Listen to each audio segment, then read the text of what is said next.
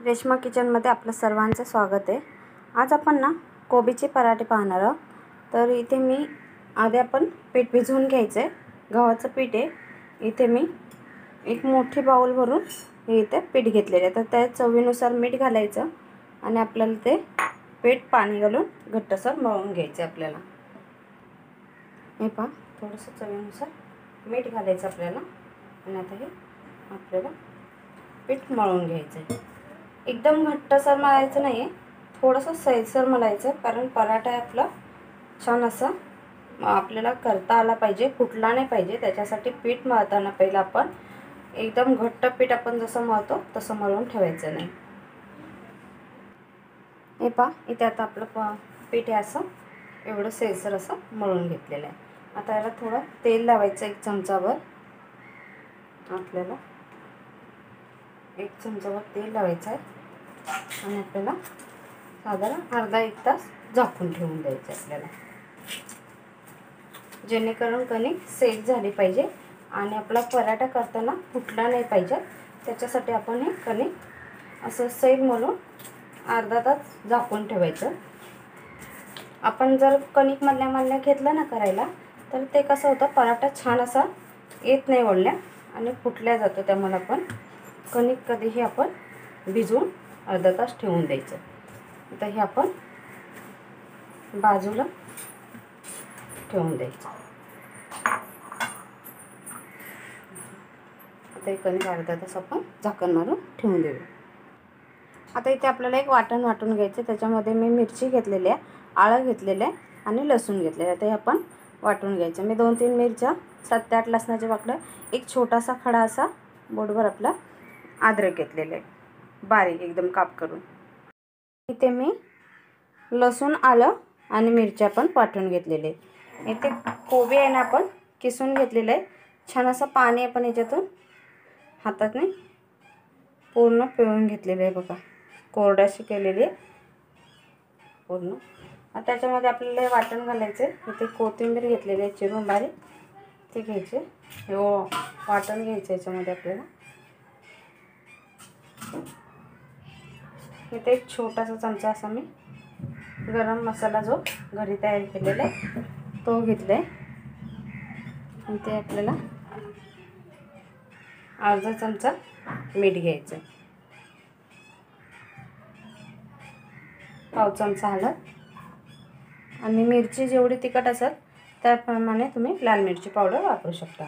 इथे मी अर्धा चमचा लाल मिरची पावडर घेतलेली. आता हे आपल्याला मिक्स करून घ्यायचे.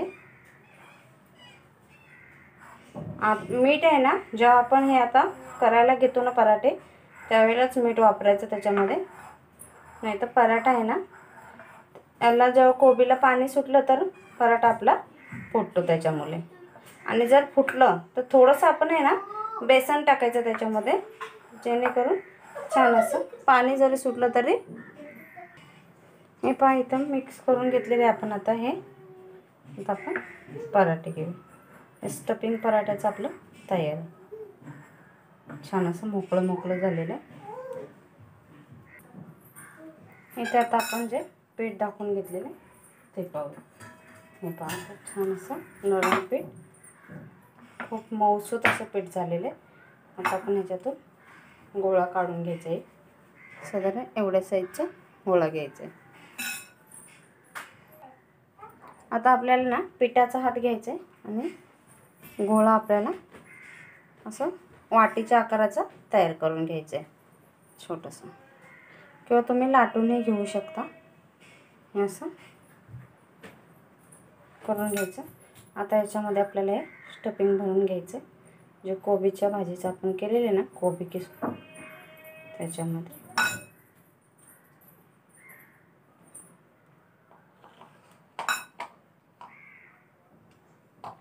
दही हे आपल्याला. बंद करून घ्यायचं.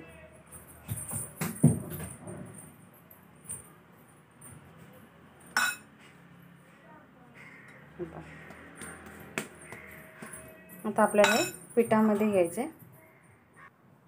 हे पहा मी पिठामध्ये बुडवून घेतलेलं आहे आपलं पराठ्याचं. आता हे हाताने छान असं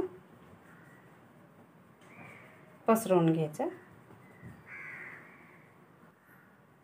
ते पराठा लाटून घ्यायचं हलक्या हाताने लाटायचे.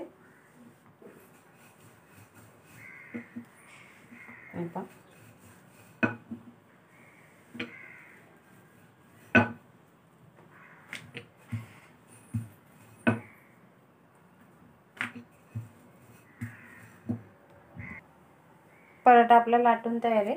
आता पण तवा पण गरम करून घेतलेले. इथे मी ताटावरती पीठ ठेवलेले टाकलेले म्हणजे घेतले पसरवून आपण थोडंसं आता ह्याच्यावरती आपल्याला हे पराठे ठेवून घ्यायचे. आपण दुसरं हे पराठ्याची स्टफिंग भरून घेतलेले तसंच. आता हे पराठा असं बंद करून घ्यायचं आपल्याला. पुन्हा आपल्याला हे पिठामध्ये ओढून घ्यायचं आहे हे पहा आपला दुसराही पराठा आपण लाटून घेतलेला आहे. हे पहा मी इथे पराठे लाटून घेतलेले आहेत सगळे.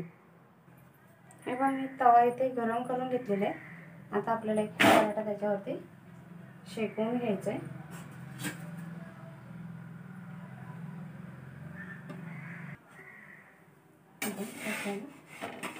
पट्टी फिरून घ्यायचं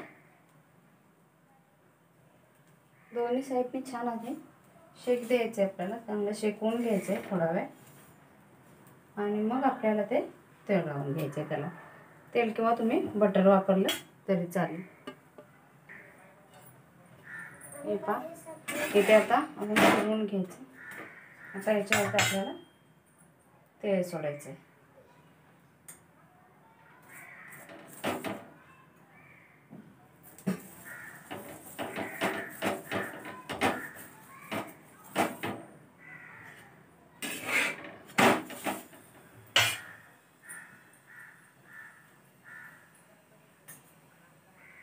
तेल लावून घ्यायचं.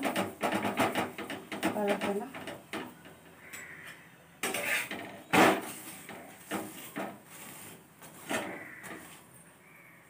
हे पहा आपलं. स्टफिंग वगैरे पीठ मळून ठेवलं. तर असं बाहेर येत पण नाही काही नाही. किंवा आपला पराठा कसं व्यवस्थित होऊन जातं. आता आपण करून जरी ठेवले तरी काही प्रॉब्लेम येत नाही आपल्या पराठ्यांना. हे पहा इथे आपले पराठे शेकवून झाले. असेच आता आपण सगळे शेकवून घेऊया.